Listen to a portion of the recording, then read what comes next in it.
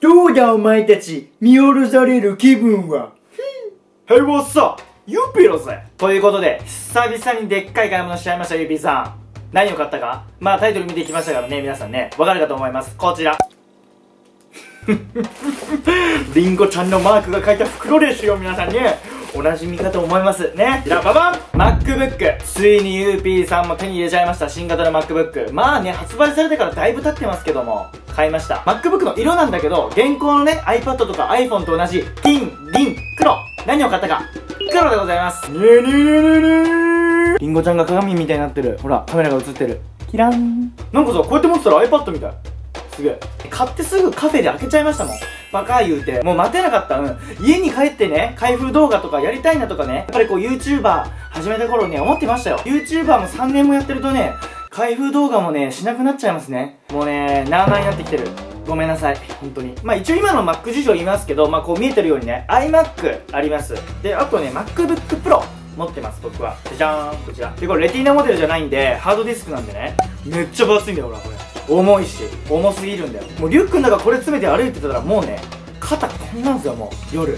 こんなんもう痛いよみたいな感じなんですよ。でこれを買ったんですよ。で MacBook Air よりも薄くて軽いみたいな。もう一番ね MacBook の中ではもう最高にこう軽量かなモデルなんですけどね。まあでもこの MacBook Pro はねこう持ち運んで動画編集とかをする分には良かった。こいつがね、動画編集ができるとは到底思えないんだよ。非力だからね。まあでもそこに関してはね、ちょっとこう2ヶ月ぐらい使ってみて、2ヶ月ぐらい、あの、使ってみた結果、みたいな動画をね、こう出して、動画編集をね、してみて、こうどうだったかっていうのは言おうと思うんで、とりあえず、ちょっと今の話をね、ちょっとしたいと思います。はい、ということでね、場所を変えて撮ってます。パカッと開けると、はい、出てきました。あ僕のバザールです。見せない。この新型 MacBook は12インチのレティナディスプレイでございます。なんでね、すっごい画像も綺麗です。もうこうやって Twitter なんかもね、サクサクサクサクできちゃうわけですよ。ただね、刺すとこ1個しかないんですよ。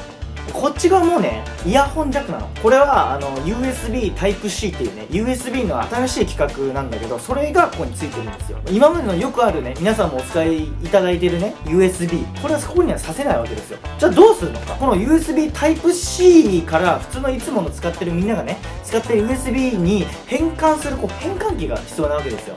それも買わなきゃいけなかったそれがこれ USB-C デジタル AV マルチポートアジャスターイエーこれ何かっていうと MacBook のさっきのポートのとこにぶっ刺して USB Type-C とあと HDMI あと普通のねいつもみんなが使ってる USB この3つが刺せるようになるよっていう変換器でございますこれ。やってペロン。結構ガッコだよね。でもねさらに問題があるの。何かっていうとこれさ USB ここ1個しかないでしょ？ワンポートしか。じゃあここにも USB もっと挿したいよと。どうしたらいいか。さらにここにハブをかませないといけないんですよ。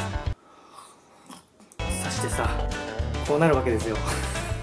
これすごいよね。結局何が言いたいかというと別にこれ動画編集する人向けじゃないんですよ。Mac これネットサーフィンしたいとかさカチカチカチカチ書類を作りたいとかさなんかそういうこうハードな作業をしない人用なわけですよ。まあだから俺の MacBook Pro の代わりになるかっていうと多分ならないとは思います。ただめちゃめちゃ軽いからもうこれをねちょっとこうカバンに忍ばせてちょっとそこら辺パラッと歩くにはねいいんじゃないのかなとか思ったんでちょっとこちらをご購入しました。ということで今回は新型 MacBook を UP が買ったぜという動画です。ありがとうございました。UP でした。